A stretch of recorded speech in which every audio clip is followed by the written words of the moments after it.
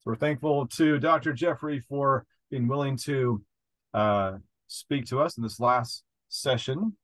Uh, he's doing this for free, so make sure you tell him thank you at the end. But we are thankful. Um, so yeah, Dr. Cole, go ahead and um, take it away. All right. Well, hello everyone. It's uh, wonderful to be here. And uh, Greg, thank you for this invitation. This is exciting to do. So I have a PowerPoint. I think these days I feel incapable as a professor of doing anything without a PowerPoint. So I'm going to share my screen with all of you and see if I remember how to do this. Yes. All right. There we go. All right. And we'll use this to kind of just follow along. All right. Well, what I want to talk with you all today about is something I love deeply, which is the uh, subject of monsters. I've been in love with monsters virtually my whole life. When I was about seven years old, I was visiting my grandmother and I couldn't sleep one evening. So I got up and went downstairs, and she was up just doing stuff around the house. And uh, she popped me a bowl of popcorn, and we sat down and we watched old monster movies and on the TV. And I vividly remember watching the 1941 Lon Chaney Wolfman and just being mesmerized because as a kid, my parents were very protective. They wouldn't let me watch anything scary. My grandmother apparently disagreed. So we watched a bunch of old monster movies together. And that initiated a lifelong love for me of monsters. And so, as an academic, I find myself often returning to the subject of monsters and wondering what they mean and what function they serve in our culture. So, what I want to share with you today is a project that I'm working on. I'm, I'm hopefully uh, this will eventually become a book. And the goal of this book is to offer a Christian analysis of monsters because most theories of monsters in literature or movies or pop cultures are approaching the subject from a non Christian perspective. And it's not that they don't have valid insights or important things to tell us, but most monster scholarship is not based on a Christian understanding of sin or evil. And those issues are at the heart of monster narratives. And so I've titled this talk, There Are Such Things Monsters, Modernism, and the Denial of Human Nature. And these are the issues that we're going to get into and kind of uh, just explore and what monsters tell us about the, these things. So the word monster, if you're an uh, English major or a, a, word nerd like I am, you love the etymology of things. The word monster is really interesting because in the Latin, monstrum means divine omen. And so in the classical worldview, monsters are always connected to the divine. There's always a link between this, these abnormal, hideous, frightening creatures and the supernatural. And the, we believe that the word monstrum actually comes from two different Latin words that blended together. One is monstrare, which means to show and the other is monere, which means to warn. And so these words combined together suggest that monsters are here to show us something or to remind us of something or to warn us against something. You've probably seen old maps um, with you know monsters inscribed on them. Ancient cartographers and medieval cartographers would often do this. They draw monsters at the edge of the world, and it was a reminder to human beings about the dangers of going too far. I think, simply put, that's one thing monsters do is they remind us about the dangers of going too far. And another way, though, of thinking about monsters is monsters are creatures that in produce intense fear. And of course, in our culture, we often use the word phobia, which comes from the Greek phobos, to mean an irrational fear or prejudice. And so there's another word we kind of, you know, need to dive into a minute. It's like the kind of the, the association between monsters and fear. Though I want to get into a little bit of clarification here because there are lots of genres, whether it's science fiction or fantasy, that have creatures or kind of monstrous beings in them. Um, and so if you've grown up loving fantasy, fantasy or science fiction, you're familiar with this, fairy tales, for example. And this is where I think it's helpful to kind of understand the, the, the unique nature of monsters, because monsters, I would argue, properly belong to the horror genre.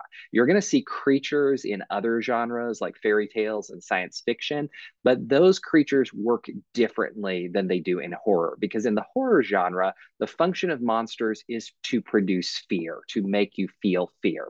Whereas in a fairy tale, you expect there to be fantastic creatures. They're part of the world. And so they're not seen as an aberration from the world. So if you were to put on, let's say, a children's movie like Beauty and the Beast and you encounter the Beast, he might be scary, but it's primarily because he's angry and mean, not because he's actually, you're just horrified the fact that the beast exists. In fact, that's the whole reason you're watching the movie or reading the story is because you want to experience creatures like that.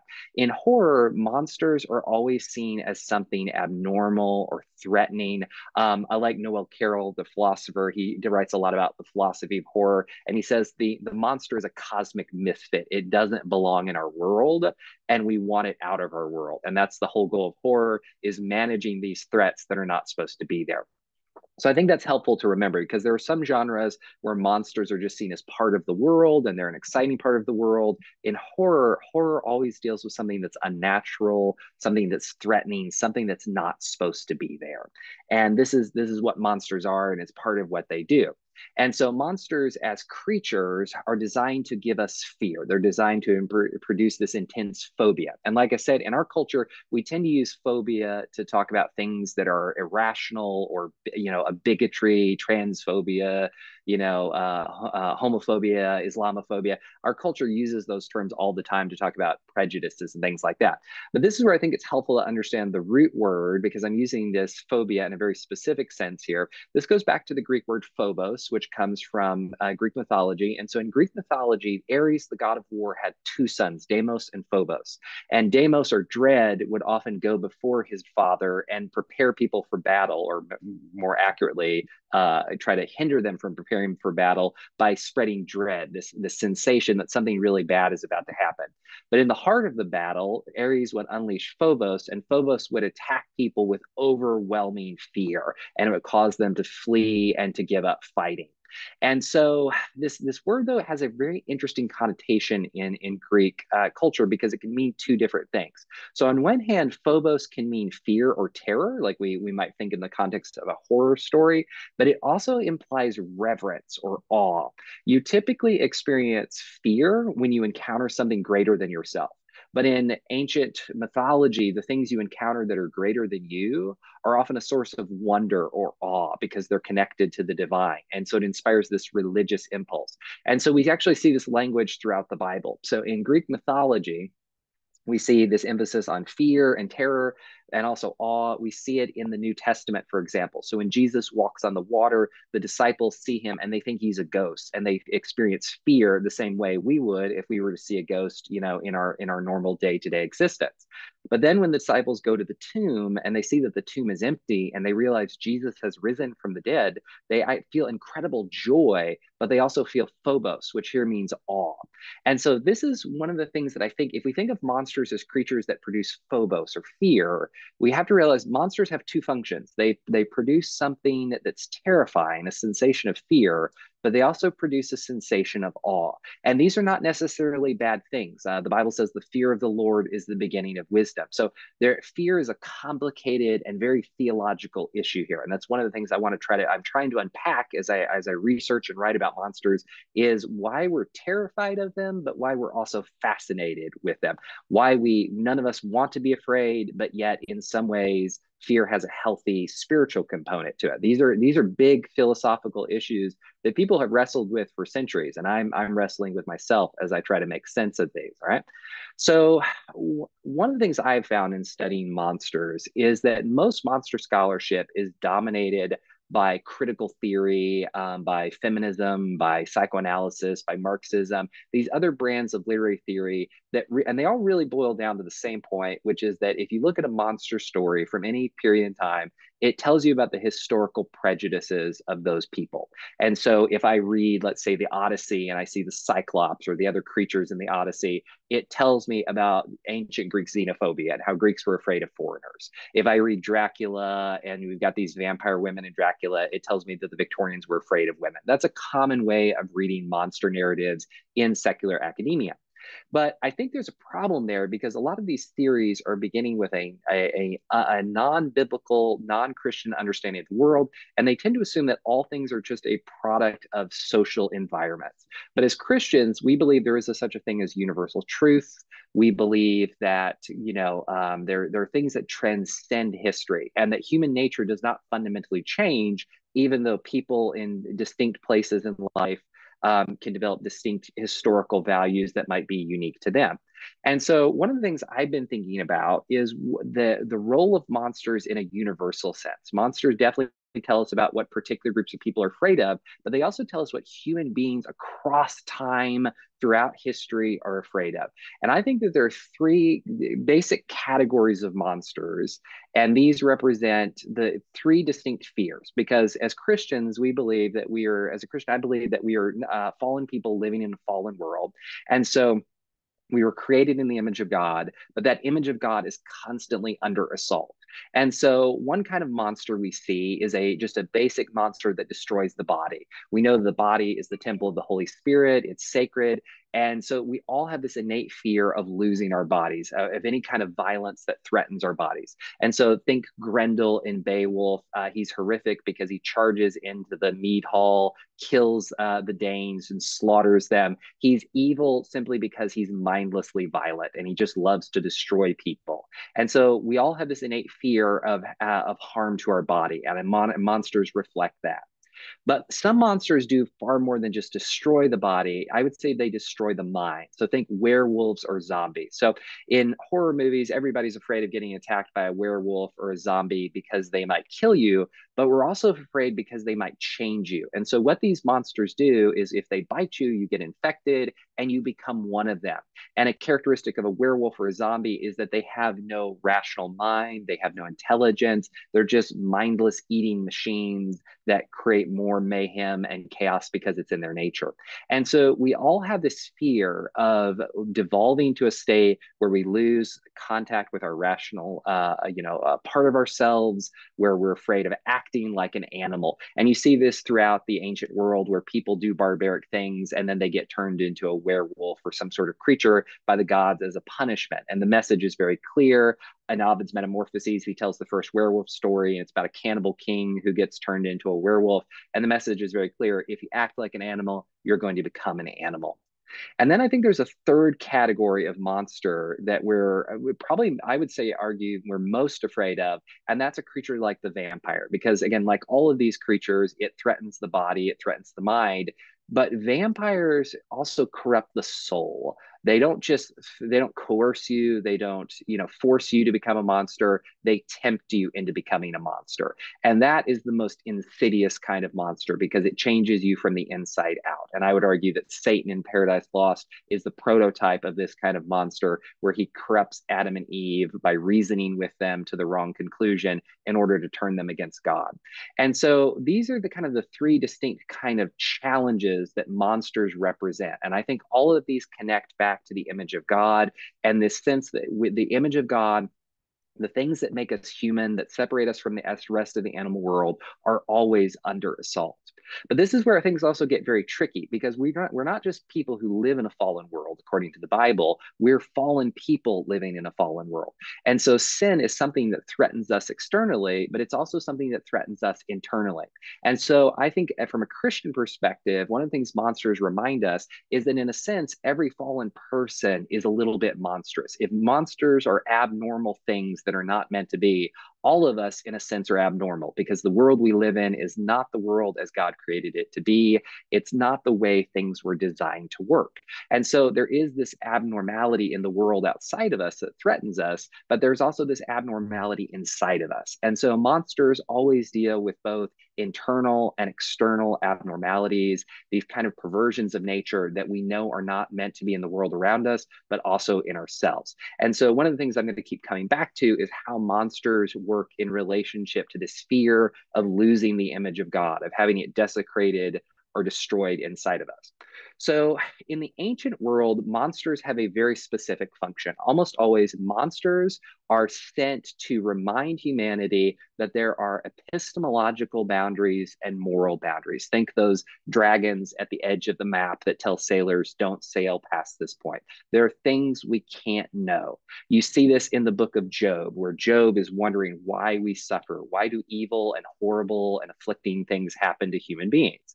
And God appears to Job and he talks to him and he points to the Leviathan. And we don't really know what the Leviathan is, but it's some sort of sea creature that no one can catch, no one can kill. And it's terrifying, but God uses it to prove a point that human beings have limits, whereas God does not. He created the Leviathan, He created Job. He is not constrained by anything. In fact, He's actually in control of everything that happens. Job turns to God and says, Now I know that you're the Lord, and no plan of yours can be thwarted.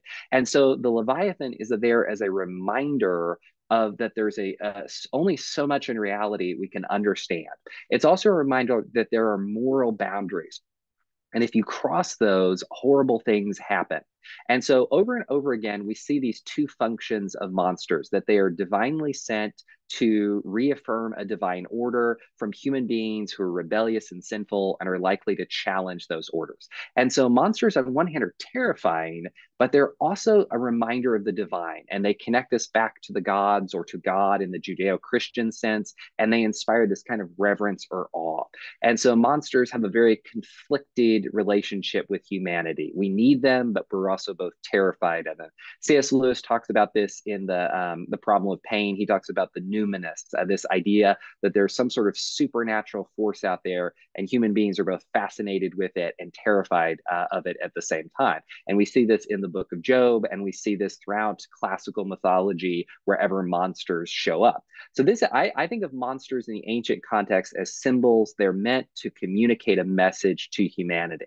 But I'm not primarily interested in ancient monsters. This is this is just groundwork, and this is just meant to set the context uh, for what I really want to talk with. Because what I really want to talk with you guys about is modern monsters. The modern horror genre is really interesting. It developed in the late 1700s with the rise of Gothic fiction.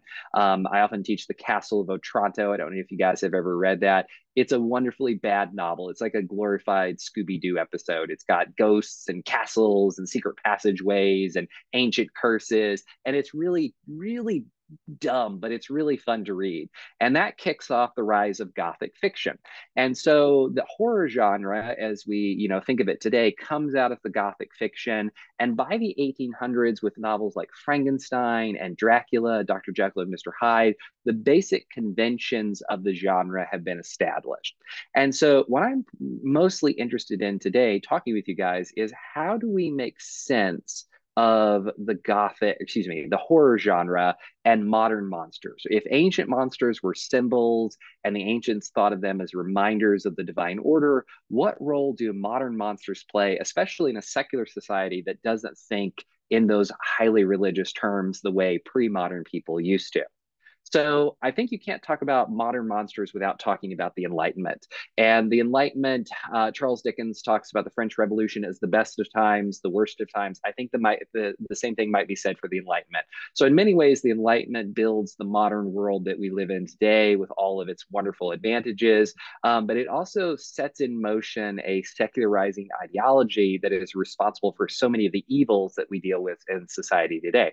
So there's various ways to define the Enlightenment, but I always define it to my students as this, this incredible time in European history where you have philosophical changes, cultural changes, political changes, technological changes, and they all funnel together to create a new way of looking at the world that's radically different than how people thought about life in the Renaissance or the medieval era or the classical era.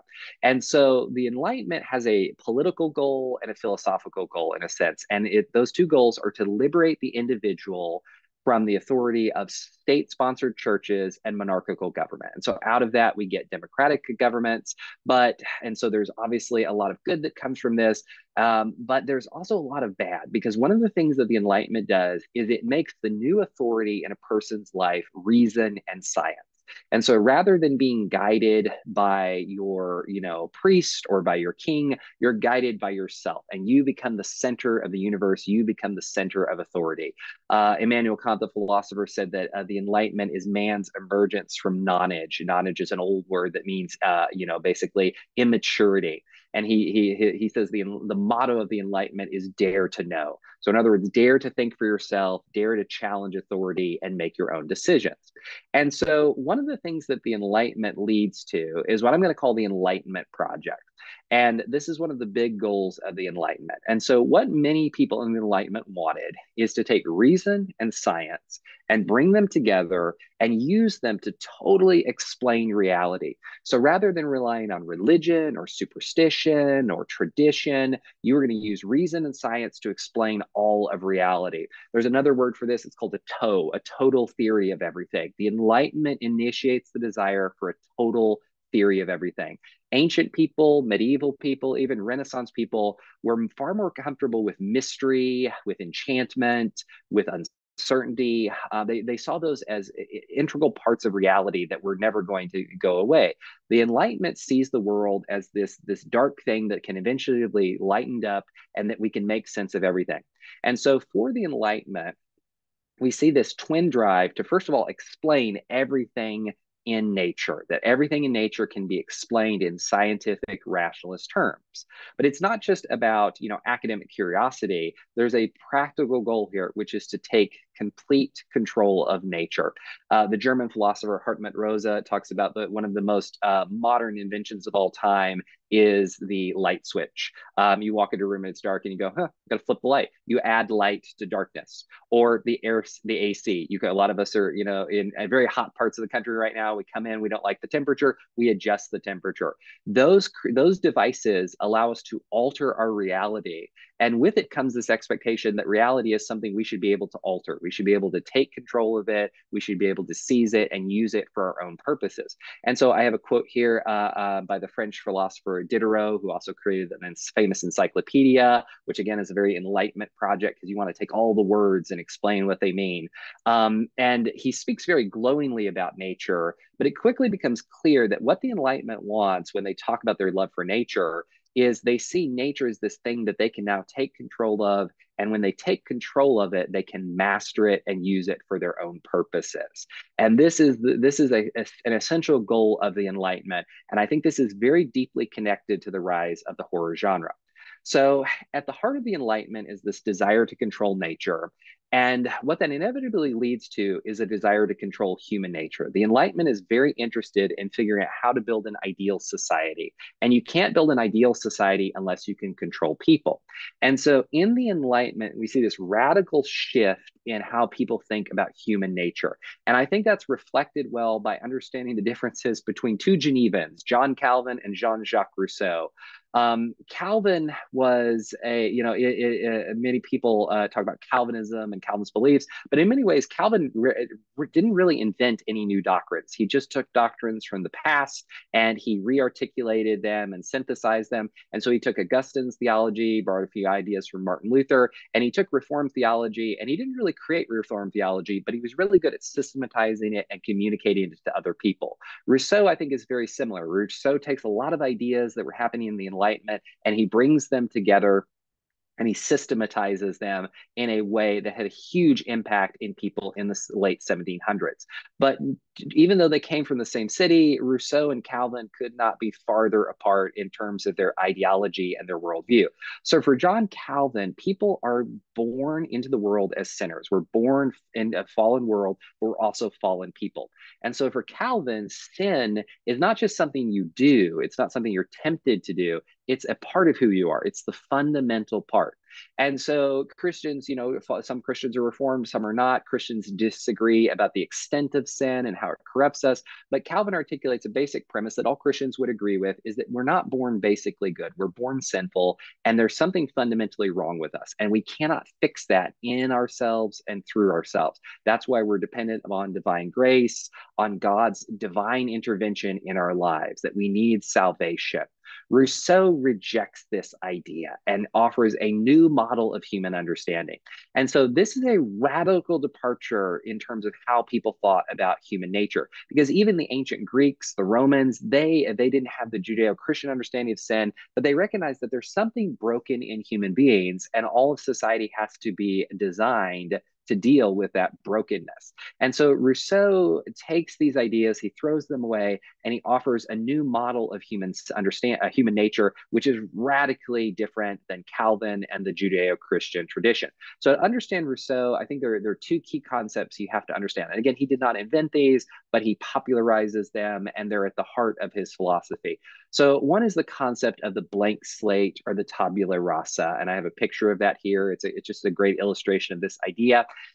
And so uh, Rousseau gets this idea from a number of philosophers. The most likely one is probably John Locke. And so John Locke says that the human mind is kind of like a white piece of paper. It's born without any instincts, without any innate ideas. We come into the world without anything written on us. And so whoever we become is a reflection of our social experiences. Locke says, where do we get our ideas from? We get them from experience. I, when I talk about this with my students, they always laugh at this analogy, but it just makes sense to me. I always compare, contrast human beings to beavers. I don't know if you guys know this, but if you were to take a baby beaver that's been separated from its mother, that's never lived in the wild, and to put it in a pool or to put it in a pond, it would immediately start building a dam. Beavers know how to do that because they have this innate nature. They are born with a knowledge of how to design structures. And so they, they are compelled by their nature to do that. Locke theorizes that human beings aren't like beavers. We don't come into the world with any innate nature or instincts. We get our ideas from experience. And so we can constantly revise ourselves. We can wipe the slate clean as we learn. This is at the heart of Rousseau's idea. Rousseau believes that human beings are not born good or bad, we're just born neutral. And so if we become bad, it's not because of some original sin or some sort of total depravity in our nature. It's because of some sort of external influence on us. And this is a, a an essential idea to understand Rousseau's philosophy. The next idea that's essential to Rose, uh, Rousseau's philosophy is the idea of the noble savage. And Rousseau believes uh, that people are actually, they're not corrupted by a lack of civilization. We, you know, we think, of like barbarians, people who don't have the ancient Greeks talked about barbarians as people who were too uncivilized. They were too removed from social influences. Rousseau argues that it's the other way around, that what corrupts people is civilization.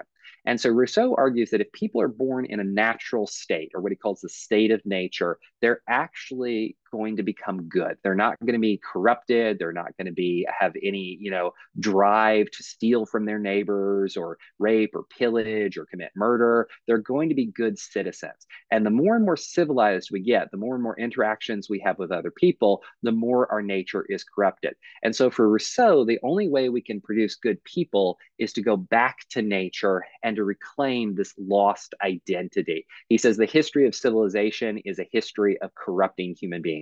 In another one of his writings, he says, Man is born free, but everywhere he's in chains. So, and eventually, society enslaves us, it corrupts us, and it removes that nobility from our nature. And so, one of the things you see in Rousseau's writings is this, this, um, you know, idealization of Native Americans, indigenous people of the New World that Europeans are starting to interact with as they colonize the New World. Um, and there's this idealization of their cultures and this assumption that those people are actually morally better and, you know, they're just happier than Europeans. And so, from Rousseau, we get this this idea that people are born more, a blank slate they're born base inherently good and then they're, they're corrupted by their social influences.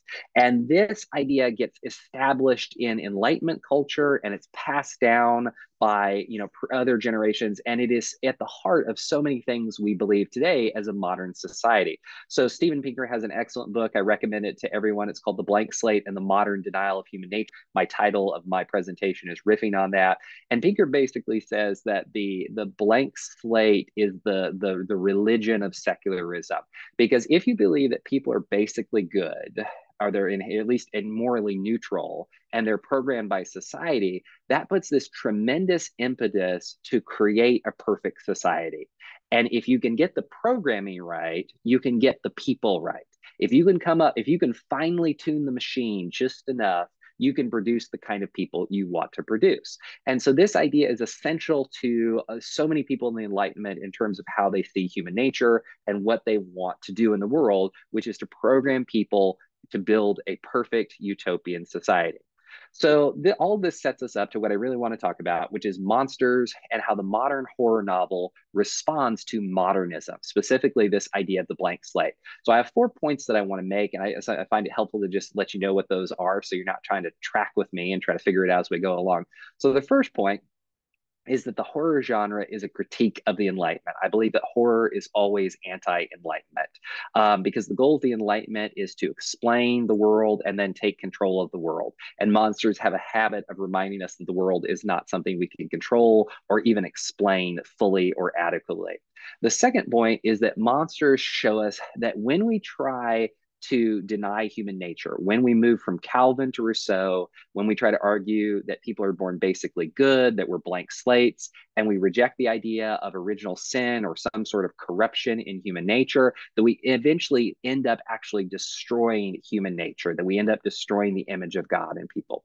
The third point I want to make is that great horror novels are always a a challenge or a refutation of blank slate psychology. They always deconstruct this idea.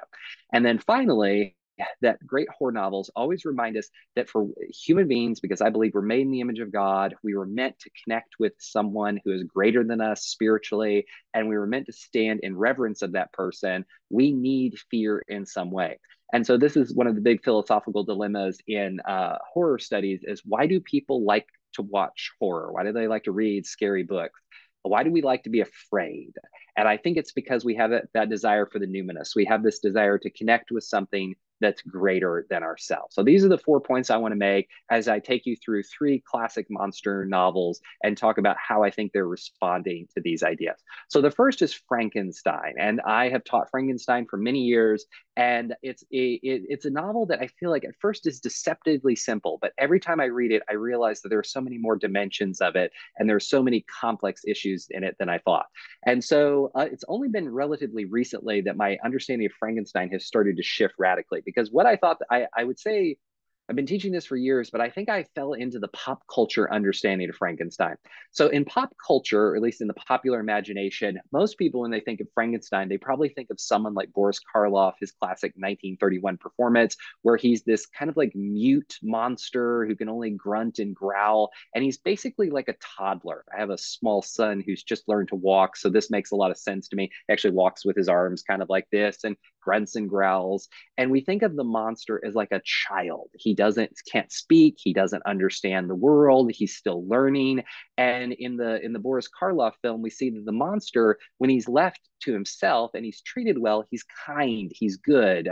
But then it's the villagers with their pickaxes and their torches, you know, they come along and they terrorize him, and that makes him laugh, lash out. And so, according to the kind of the popular understanding of Frankenstein, the message is if you mistreat someone, they're going to treat you badly. If you treat them nicely, they'll treat you well. That's actually what Percy Shelley, Mary Shelley's husband, uh, said in a review. Like that's the message of this novel. I think Mary Shelley would have actually disagreed, um, because one of the things, I, like I said, I think horror always does is it challenges our b- desire to believe that people are basically good and that we are just the products of our environment. And so, what Mary Shelley does in this novel, let's see, is this move? Give me one second. There we go. Oops. Uh, is she takes these ideas and she complicates them and she shows that blank slate psychology has a lot of contradictions in it. So in the novel, we begin with Robert Walton, and Robert Walton is almost always removed from every movie version of Frankenstein. He's the he's the narrator of the story, and Robert Walton is an explorer who's trying to get to the North Pole, and he's trying to do two things. He's trying to find a northern passage that will allow him to get to the North Pole. This is one of the biggest goals of Enlightenment science was to see if it was possible to navigate the North Pole and to sail from one side of the globe to the other. But he's also hoping to discover the secret of magnetism. That was one of the other big goals of Enlightenment science was explaining how compasses work and how these magnetic forces control it and to get to the heart of these mysteries. And so you have this man who's launching on this utopian project, and his goal is to understand the world and to take these things that are mysterious and unlock them. And he believes that when that happens, it's going to create this idealistic society. He even wonders if there might be these utopian races who live up in the North Pole and he's going to discover them. So he has big hopes and dreams for what he's going to accomplish through science. But then when he gets to the North Pole, he encounters Victor Frankenstein. And Victor's Frankenstein, of course, is chasing the monster. He's chased him all across Europe and eventually made his way to the North Pole. And he tells his story to Robert Walton and he explains um, all of these issues uh, that have happened in his life to Walton. And so, one of the things that I think is really interesting in Frankenstein is how Victor describes how he became obsessed with science. And it began in his childhood when he witnessed an electrical storm and he saw this bolt of lightning come down and destroy a tree. And he just he he marvels that this thing that has this incredible power to just destroy and it's just out there and he wonders could it be possible for us to take that and use it to actually give life instead of destroying life and this, of course, happens right before his mother dies, which is a traumatic event for him. And so, between the loss of his mother and the discovery of electricity, Victor is fueled by this desire to discover the power of animation. What is the life force that fuels humanity? Can we take control of that? And so, with Victor, we get this, this embodiment of Enlightenment science. Uh, between Victor and uh, Robert Walton, we have all of the Enlightenment projects put there for us to look at. And they all come back to the same goal, which is to understand the mysteries of the universe and to take control.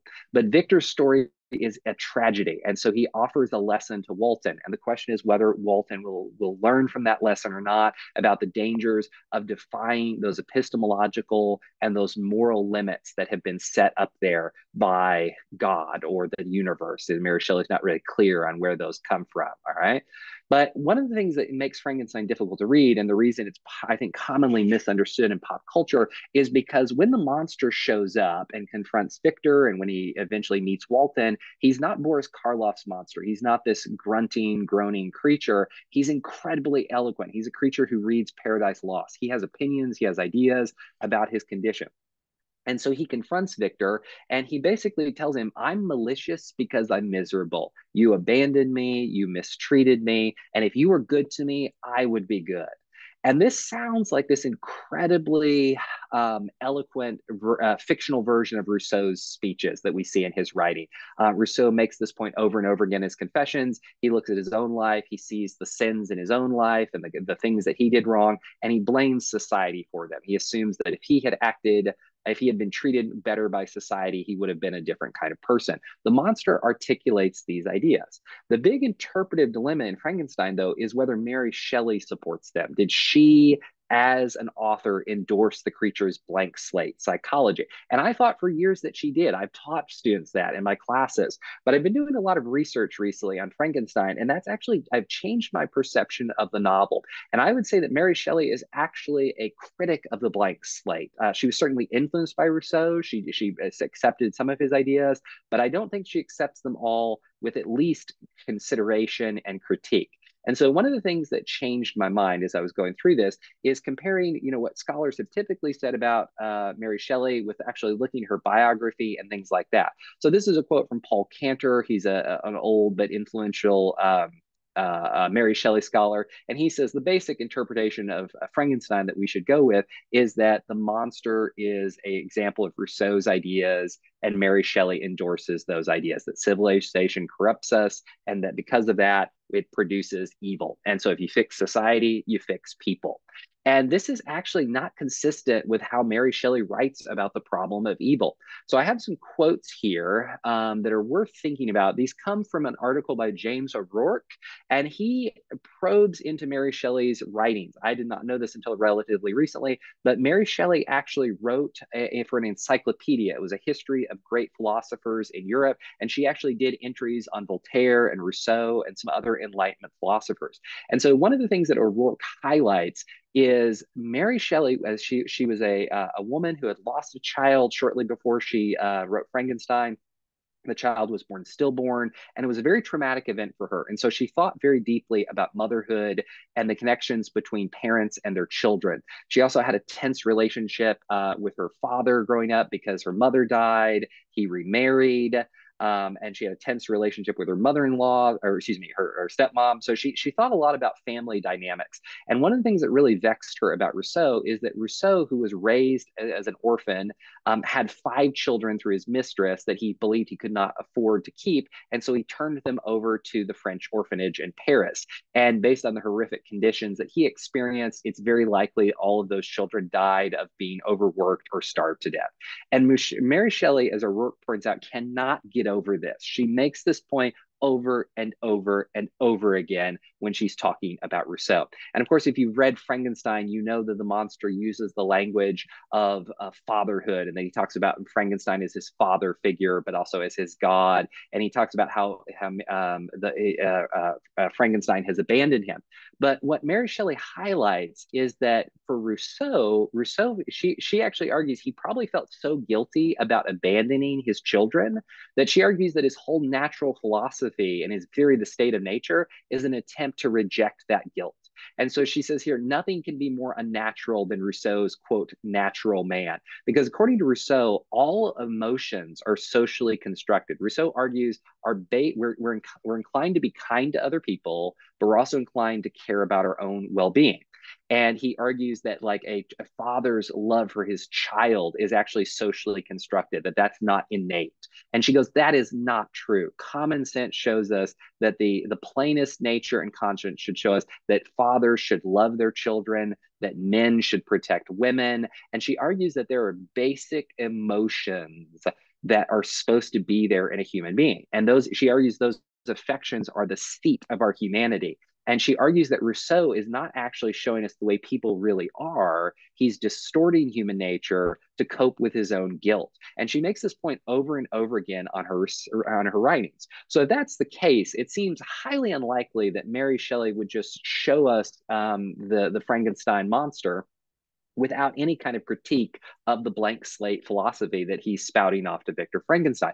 And I think when we read Frankenstein, we certainly sense that the creature has a legitimate grievance against his creator, right? Victor is a monster in many, many ways.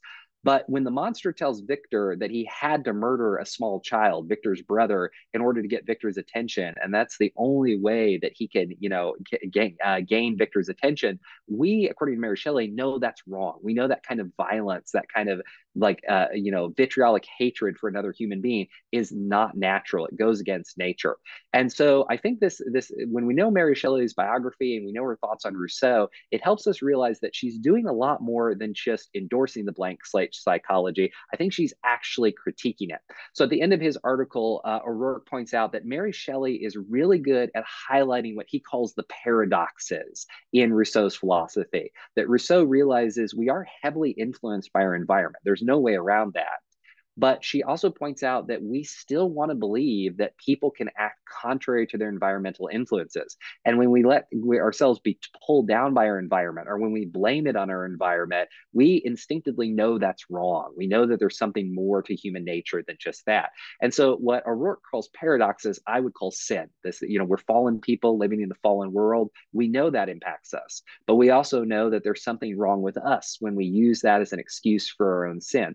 And so Mary Shelley wrestles with this, and I think she tries. She may not deconstruct it, but she definitely shows that there that uh, Rousseau's ideas are built on a shaky foundation.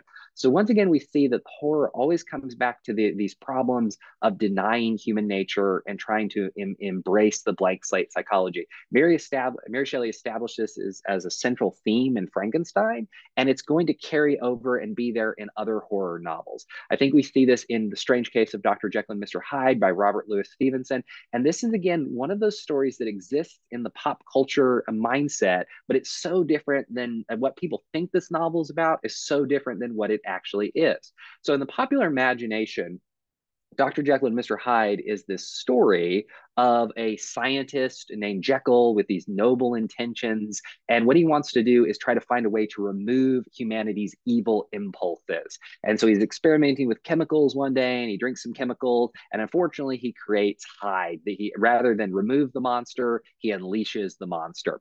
And this is this idea actually comes uh, from a, a student who did a whole project on this. It was great. I learned a lot from it. This idea actually comes from the play played Dr. Jekyll and Mr. Hyde by John Sullivan with the actor Richard Mansfield, who's depicted here on the screen.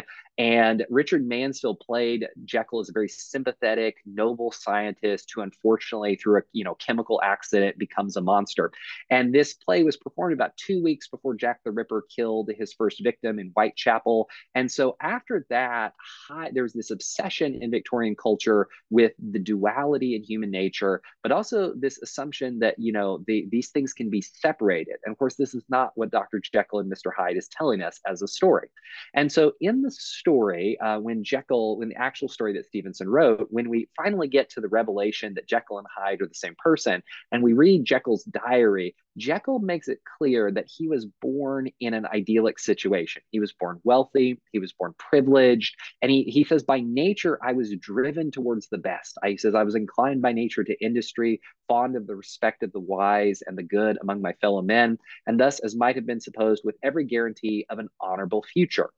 But what Jekyll starts to realize is that he does feel this innate desire to pursue what's good, to to win social acclim- uh, favors and you know, praise. But he also feels the desire in himself to do things that society doesn't approve of, and he's very vague about what that is. And people have read this in countless ways: that he's secretly gay, that he's addicted to drugs, that he's hooking up with prostitutes. It's been interpreted in all sorts of different ways. But what we have here I don't think I think it's ambiguous for a reason, and I'll come back to this point in a in a a, uh, a, minute. What Stevenson wants us to think about here is that Jekyll sees this duality in himself, and so Jekyll is wrestling with this duality and wondering about what to do with it. And so his duality, wrestling with the problem of duality, recognizing that there are contradictory impulses in human nature, it actually leads him from science back to religion. And he says this is the root of all religions. All religions realize what Enlightenment science is essentially trying to deny that human beings are a mixture of good and bad, that we have impulses to do good, but we have also impulses to do evil. And every religion, in one way or another, wrestles with that. And modern science in the Victorian era is attempting to deny that because it's attempting to treat people as blank slates that are a product of their environment. But Jekyll can't get over this. He says, I'm shipwrecked by the fact that man is not truly one, but two. But then this is where he, he comes to this, this thought perhaps science can do something about this. Perhaps science can be used to fix what religion can't fix. And so Jekyll decides that he's going to use his his chemistry. He's going to use his some sort of chemical concoction to fix this problem.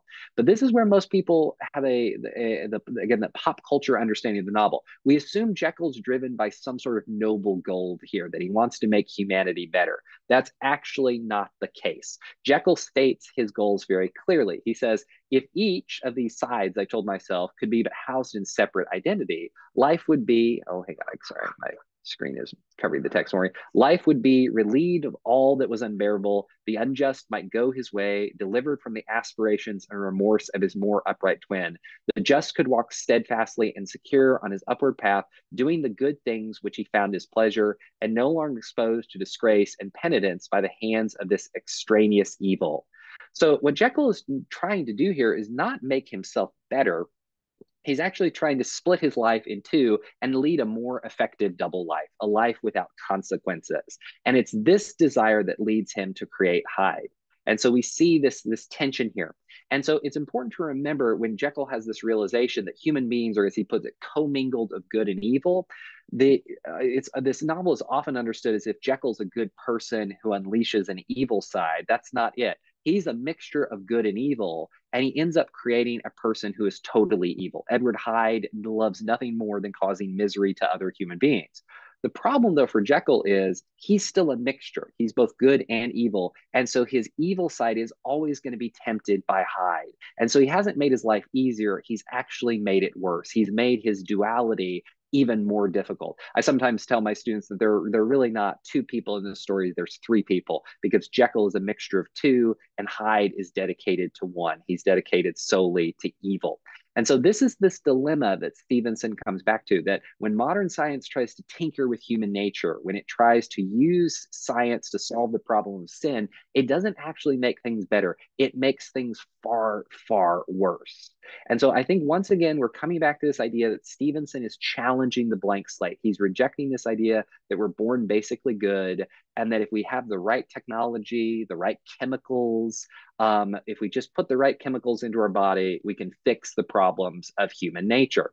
And so this is where it's very helpful, uh, I think, to look at Stevenson's own letters. He wrote a lot about his novel and responded to it. He often kind of resented the popularity that he got from this. But when he saw the popularity of Richard Mansfield's play, he was very upset because it said it changed the meaning of his story. In Mansfield's play, they make it very clear that Hyde is a sexual predator. And the reason Jekyll wants to become Hyde is so that he can engage in a sexual double life and then that just gets out of control and hyde becomes a very jack the ripper kind of serial killer and robert louis stevenson was exasperated by this he's like i left it ambiguous for a reason now and this is a letter to his friend john paul bocock and he makes the point here that the real point of the story is not that jekyll was a bad person because he wanted to engage in sexual immorality. Stevenson was pretty liberal about that. He didn't think that you know uh, uh, the, uh, violating the judeo-christian sexual ethic was an issue but his point is the issue here is not that Jekyll wanted to engage in sexual immorality. The point is Jekyll was a hypocrite who wanted to live a life dedicated to sin on one hand, and on the other hand, live a life that would be respectable. And because he didn't have the courage to be to be out and open about who he was, he created Hyde. And he makes the point that Hyde's real evil is not his sexual immorality, it's his cruelty and that by letting out this evil in his human nature, um, that's the real evil in the story that Hyde gives into. And so Stephen's trying to make the point that all of us have this capacity for cruelty and violence. And if we're not honest and if we're not ethical, we can let that out of the bottle. And when we let it out, we can't stop it.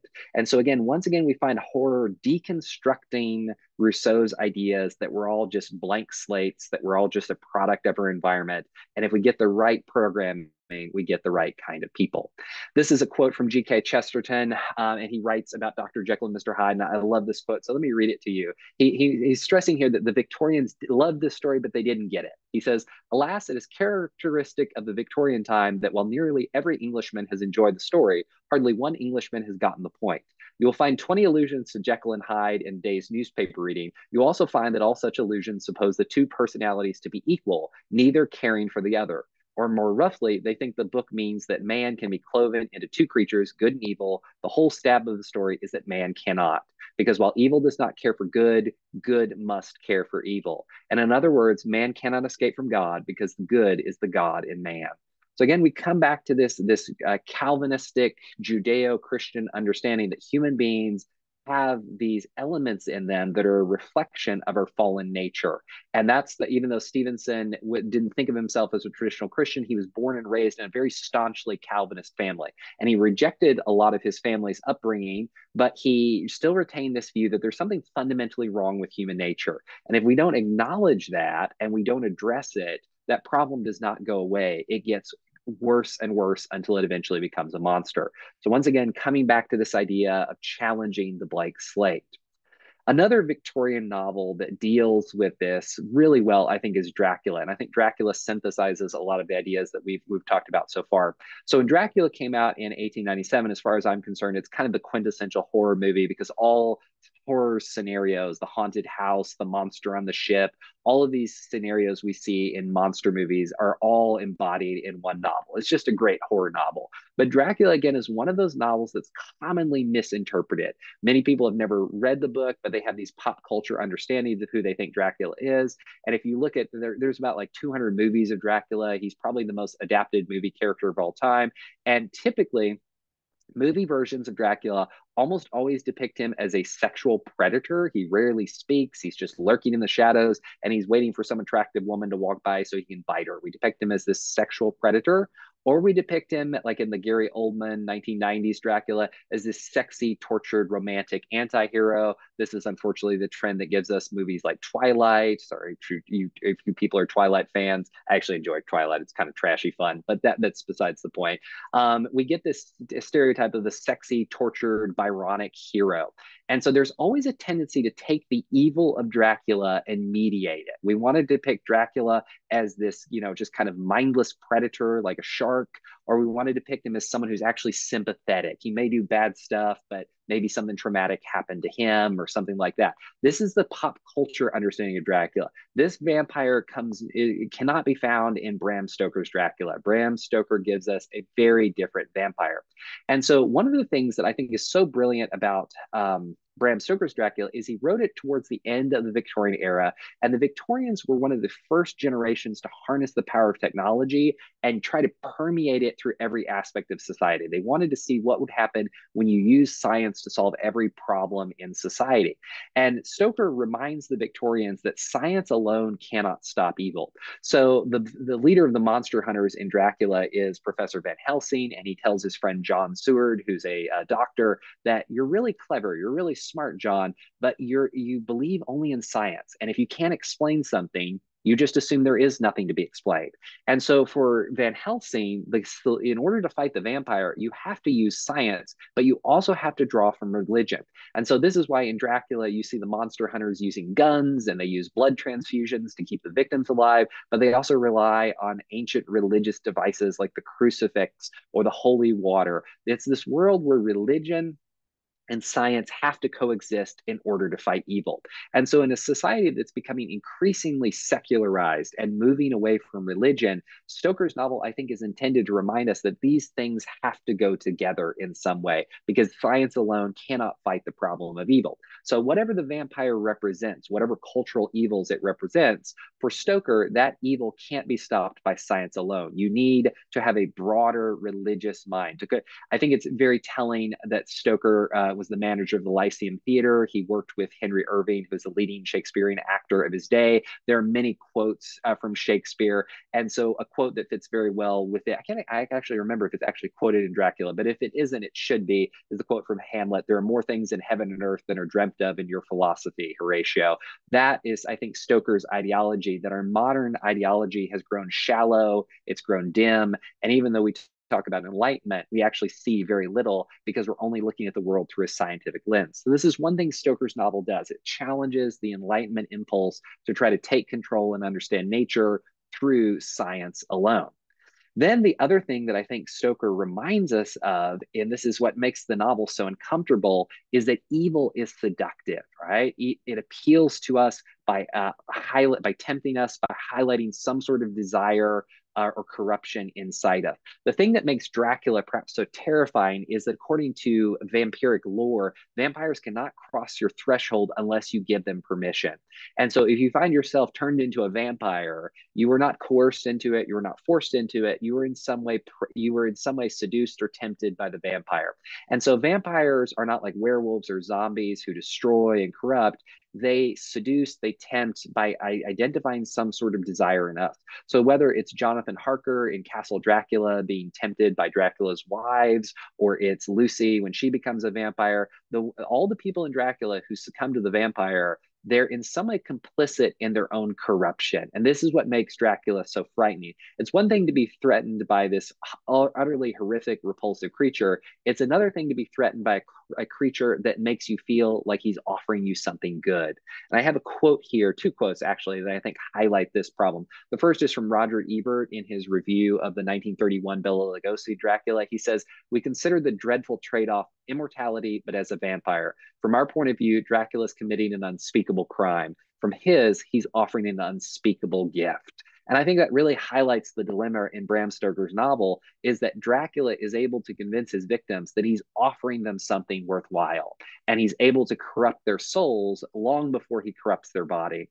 Kate Hamill, who's an actor um, uh, who's uh, involved with theatrical productions of Dracula, she says that in Dracula, we find a monster who takes away our agency, our choice, even as he consumes us. The fantasy of becoming a vampire is a myth of exceptionalism. Nobody fantasizes about being the random peasant whom the titular count devours. Instead, people are thrilled by the thought of turning into vampires themselves, becoming the most powerful consumer, the apex predator. And until we recognize that we have far more in common with prey than predator, we will always feel fill the uh, vampire's pull. I think that's a great insight into this novel that vampires are a reflection of our own fallen nature. They prey on us by catering to our desire to be predators. They they cater to this desire to have power, to have control, to make the world ours. and then they end up destroying us and making us enslaved to them. And that's what sin from a Christian perspective does. It always offers power, but it ends up enslaving. This reminds me of the great line in Paradise Lost where Satan is trying to tempt the angel Ab to rebel against him. And he promises him freedom. He promises him power. He promises to give him this place outside of God's hierarchy. And Abdiel responds to Satan, Thou art to thine own self enthralled. And this is a that what we see in Dracula is that the Dracula, the vampire, appeals to some sort of inner desire inside us. So I want to save time for questions. So I'm going to just kind of move through these very quickly. One of the things to know is like uh, uh, Bram Stoker was a, um, pro- a, prodigious student of vampiric folklore. And uh, vampiric folklore starts in the 1600s, 1700s. That's where you start to have these vampire stories that sweep across Europe. And as I was doing research, I learned that Rousseau, Voltaire, all these other Enlightenment philosophers, they were very fascinated with vampires because they wanted to know if these things were just superstition or if they were new creatures that science couldn't explain yet. And of course, eventually they came to the conclusion that these were all just superstitions and myths. And they they said, you know, um, you, it's not even worth our time talking about it. In fact, Rousseau and Voltaire actually trashed this other Enlightenment philosopher who went to the trouble of writing a book trying to prove that vampires didn't exist. And they're like, you're just dignifying absurdities by writing this book. And so for them, vampires had nothing meaningful to say. And I think Stoker disagrees. He believes that vampires are cultural symbols that tell us a great deal about the growth of modernism. And so for Stoker, I think vampires are a reminder that evil does exist, that it is very real, that it has the power to tempt us by pulling the evil out inside us, and that modernism in and of itself does not have the epistemological or the moral resources to fight it. If you dedicate yourself solely to a scientific worldview, you will not have the means necessary to fight the vampire. And it's it's perhaps interesting that it, we're going to move from the Victorian era with the Queen death of Queen Victoria into the modern world, and we're going to get World War One, we're going to get World War Two, we're going to get the Holocaust. We're going to have these great evils, which are in many ways a product of this Enlightenment scientific mentality that Stoker, I think, is critiquing here.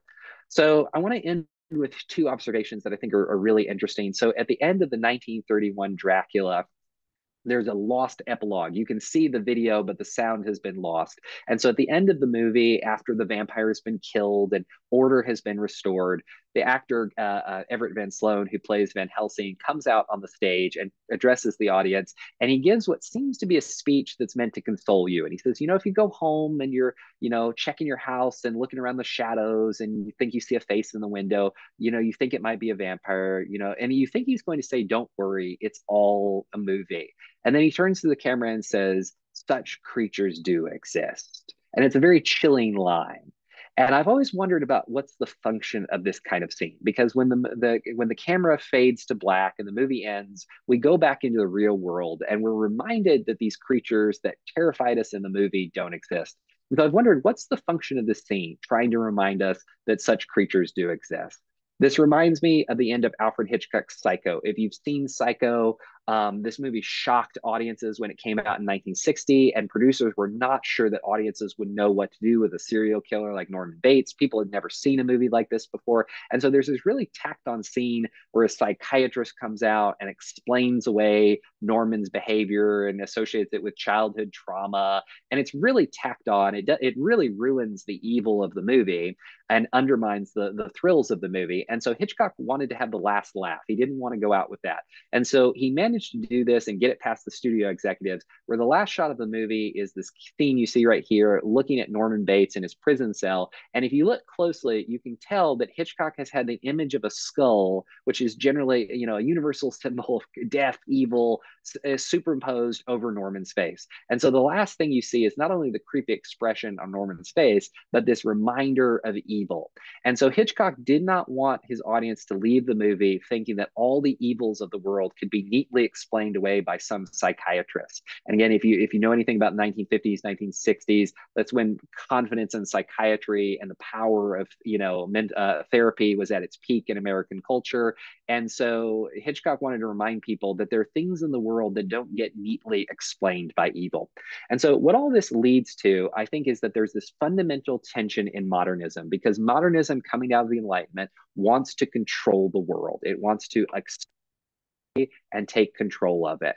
But when you do that, you lose what the philosopher Hartmut Rosa calls resonance, meaningful relationships with the world, because there's nothing bigger than you. There's nothing to be afraid of. And Rosa uses the example of a snowstorm that for children, a snowstorm is exciting, it's marvelous, but for adults, it's terrifying. And it, it, it, at best, it's an interruption of your daily life. At worst, it's terrifying. And so there's this conflicted impulse in modernism to control, but when you control, you lose a loss of reverence and awe. And I think horror is a dark commentary on that impulse in the Enlightenment. And so what I think we see over and over again in great modern horror movies is this need to challenge that desire and to show that when you do that, you cut yourself off from the impulses and the feelings that human beings were meant to have. And so over and over again, we see in, the Enlightenment trying to deny human nature, and over and over again, we see horror taking us back to the fact that there's something fundamentally wrong with human beings. And if that gets out of control, we become monsters and that i think is the the the theme that horror returns to over and over again is this inability to control the world and that there are moral and epistemological um, boundaries and limitations and those are actually a good thing. I think that's what horror comes back to. So thank you for listening to my talk and if you guys have questions or thoughts i would love to hear them. All right. Thank you dr jeffrey. That was fascinating. Covered a lot of territory and made a lot of lot of connections.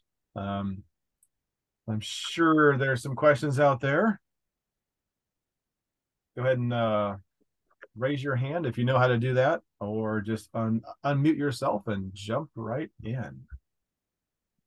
Some of you will be teaching some of these books. I'll be teaching Dr. Jekyll and Hyde, so I'll be going back and looking at that letter um, from Stevenson. That's really, really interesting. All right, questions don't be shy now. Dr. Jeffrey, besides the the books and scholars that you mentioned in your talk, are there others that you would recommend if somebody wanted to go down this rabbit hole a little bit further? Okay, so th- yes, it depends on how far down the rabbit hole you want to go. Um, a book that I particularly love uh, because I, I, know the author is Grant Horner's book Meaning at the Movies. Uh, Grant Horner was my professor in college, and that's a it's primarily about movies, but the applications to literature are great. Um, what the, Horner does in that book is he offers a theological reading of various movie genres, and he he reflects how those genres um, come back to the reality of sin and how we need art because of sin. And he makes this point that all art is always kind of essential. Eh, how should I put it? Deconstructing itself because there's always an impulse in art to tell the truth but in fallen people, there's also an urge to lie about reality. And so we find those, those things in tension with each other. So for anybody who's just, you know, maybe like interested in the layman's approach to that, I think that's a really, really good one. Um, uh, Noel Carroll's book, The Philosophy of Horror, is really good for understanding kind of the problems and tensions in horror. Like it, the paradox of horror is is uh, Carroll's phrase for this: the fact that horror scares us, but we also like it. And typically, most of us would say we would not want to be chased through the woods by a guy with a chainsaw, but yet we'll watch that movie. And what does that say about us? And so he really wrestles with that. That's a good book. Another book that I have found interesting, I think I actually have it on my shelf. Give me one second. Um, Religion and Its Monsters by um, Timothy Beal is an analysis of the relationship between religion and monstrosity. Um, one weakness, though, in the book is that it's uh, he he is a Christian, as I understand it, but he primarily focuses entirely through a historicist lens, and that's why, like I said, I'm working on this book because uh, for Christians, there's very little out there that offers a universal account of these things. There's just a tendency to look at books in terms of you know the ancient greeks were afraid of foreigners so that's why we get the monsters in the odyssey. There's attempt to historicize everything and so i think there's a need for that. Um, so that's that's something that i'm working towards but those are those are some books that i've looked at recently that i've found helpful. Excellent. Thank you. Thank you. Any other questions? If you have a favorite monster i'd love to hear it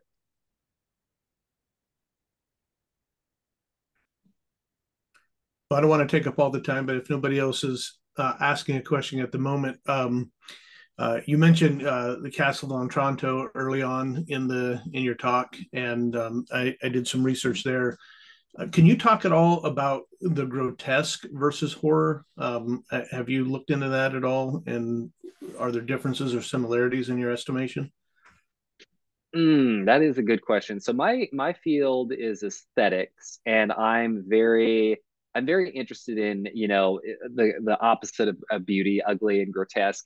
Um, I think they're closely related, um, but it. Did... Sorry, I'm, I'm I'm trying not to think out loud here. Try to give a a, a more polished response. Um, I would say the grotesque is part of horror, but you can um, you can you can separate the two. Um, I think of Goya's paintings are kind of a classic example. Goya is someone who just seemed to be obsessed with very macabre imagery and really horrific imagery, but also to find kind of a beauty and a fascination with that. Um, a big a big figure here would probably be Edmund Burke and his his reflections on the sublime, because what Burke real one of the things the Romantics uh, took very seriously is that beauty beauty they they challenge the platonic idea of beauty because plato says beauty is this universal thing and it's objective. But the romantics realized a lot of the things we call beautiful are actually just culturally conditioned and so they were trying to find something that could kind of take them outside of their cultural conceptions of what's good and bad and beautiful.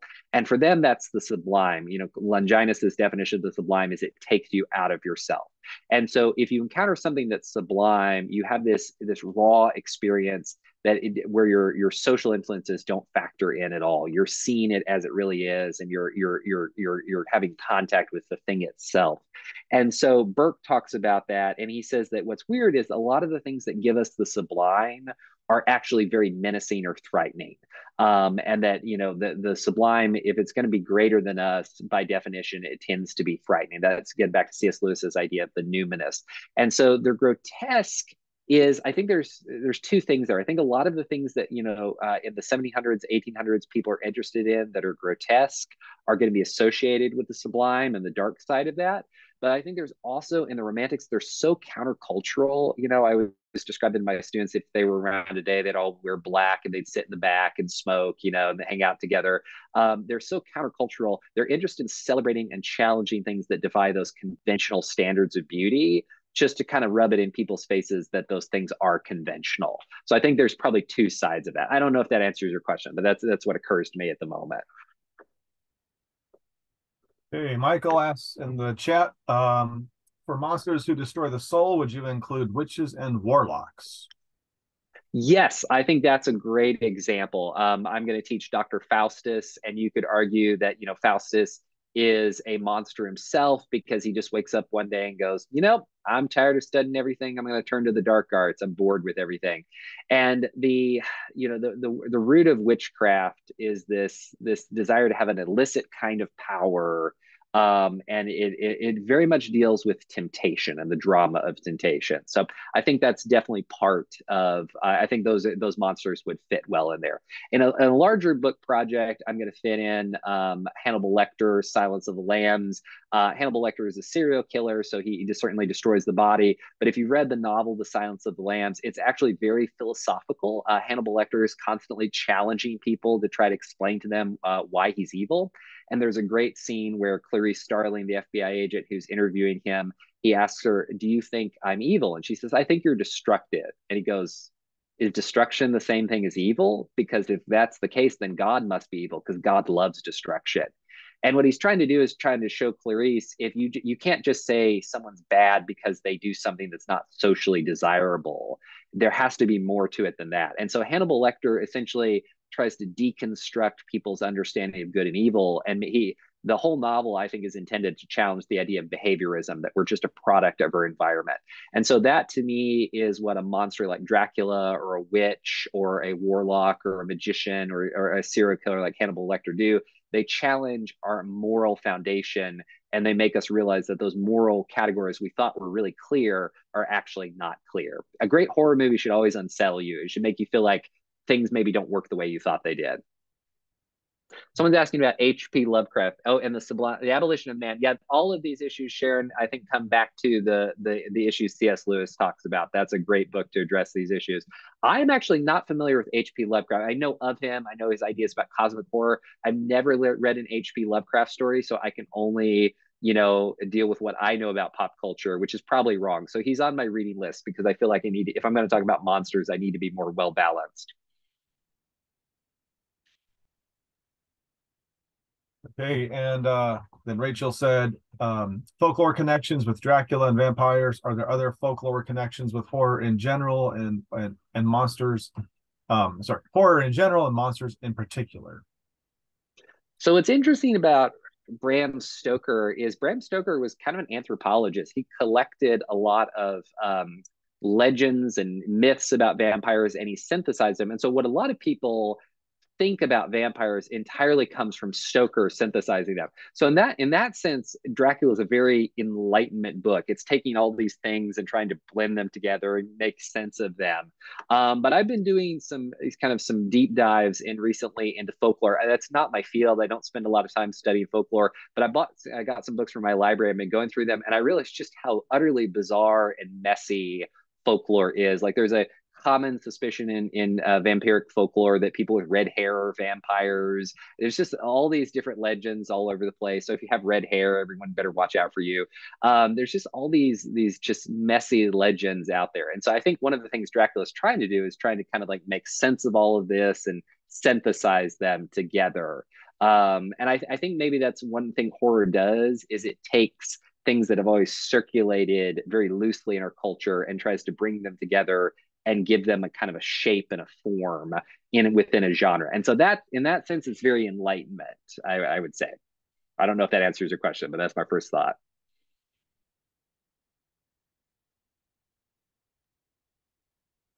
All right, great questions.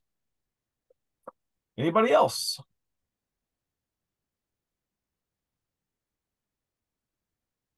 Looks like a lot of you are mentioning Paradise Lost. I think those are great connections. I think Paradise. I think I would argue that Dracula is Satan is a pro. Milton Satan at least is a prototype for Dracula and any kind of seductive monster because Satan uses words to corrupt people and then turn them into monsters. And so I think, it, and of course, the Romantics loved Milton. They also did not understand him.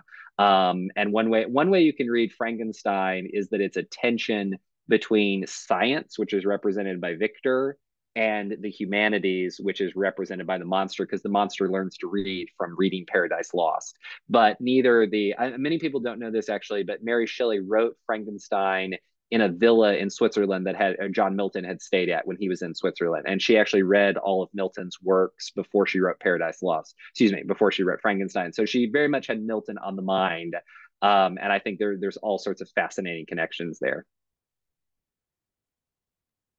Yeah, that's fascinating. Uh, so you said your interpretation of uh, Frankenstein changed. Is is this something that will become known as the Cole Jeffrey school of thought, or are are, are there other uh, scholars out there who uh, who helps you uh, go in this direction? No, I think it's. I think uh, you know, uh, like I said, I got that article from uh, James O'Rourke. There's also one by Lawrence Lipking called "Mary Shelley Judges Rousseau," and so other people have made this argument, but as far as I can tell, it just doesn't seem to have made a dent in any kind of. You know, it doesn't seem to have made a dent in how people you know understand the novel or teach it. And so I think most of us were you know probably taught in high school that Victor's the bad guy, the monster is the good guy because he did some bad things or to, victor did some bad things to him and mistreated him. And it's a very kind of simplistic you know um, reading of that. And i as i as i've grown as a student as a teacher i've appreciated the complexities of it but it wasn't until i started reading more about mary shelley's actual thoughts on rousseau that i realized how much she's critiquing rousseau's notion yeah, I, I always thought a lot of the problems in Frankenstein came from the fact that it was written by an 18 year old girl. I just imagined myself as an 18 year old trying to write a novel and, you know, the problems that undoubtedly would have been in that novel. And so I thought some of the, what uh, um, O'Rourke calls the, the paradoxes in Frankenstein came from that.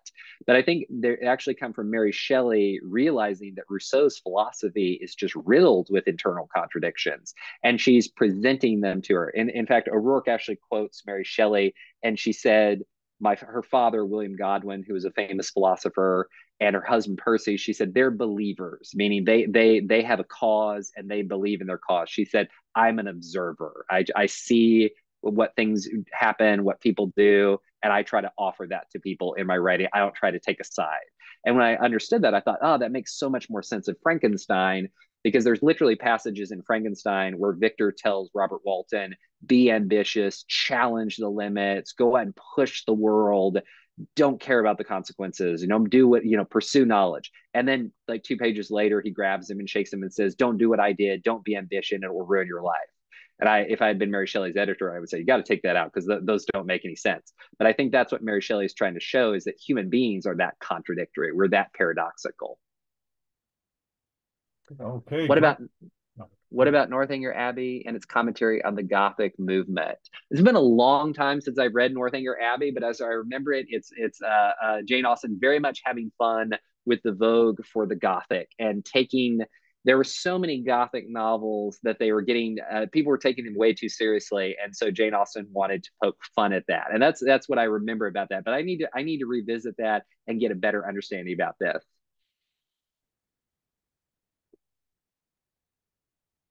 All right. Well, hopefully um, we can all start to help our students understand uh, Frankenstein a little bit better. So um, you can say you heard it here first.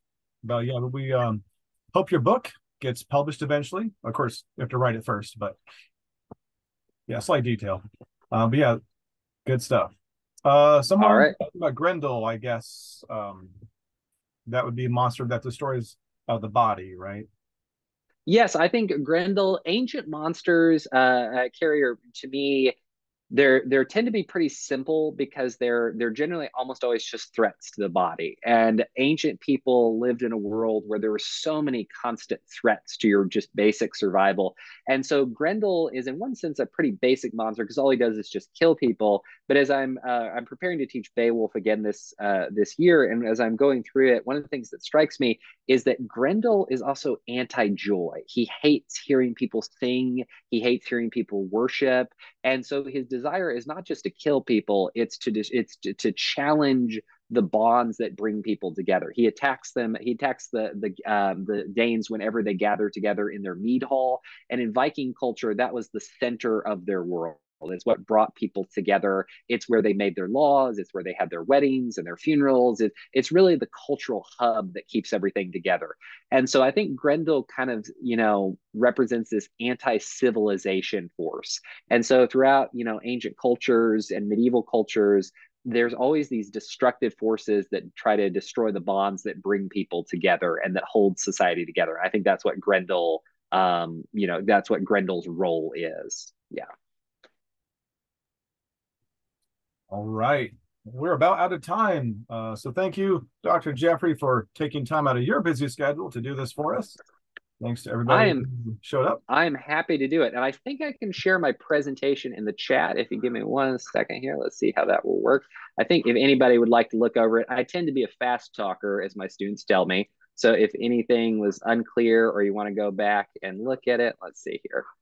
Uh, everyone, let's see if this will share with everybody. Very good. Okay. Sending that PowerPoint. Hopefully you all get it. If not, feel free to email me and I'm happy to forward it to you. All right. Well, hopefully we can do this again next summer. So stay tuned, everybody, for um, who we have next summer. But enjoy your school year and um, all God's blessings on all your labors. And thanks for coming. Thank you, everyone. I hope you have a great start to your fall. All right. Bye bye. Thanks, thanks, Dr. Jeffrey. Thank you, Dr. Soderberg.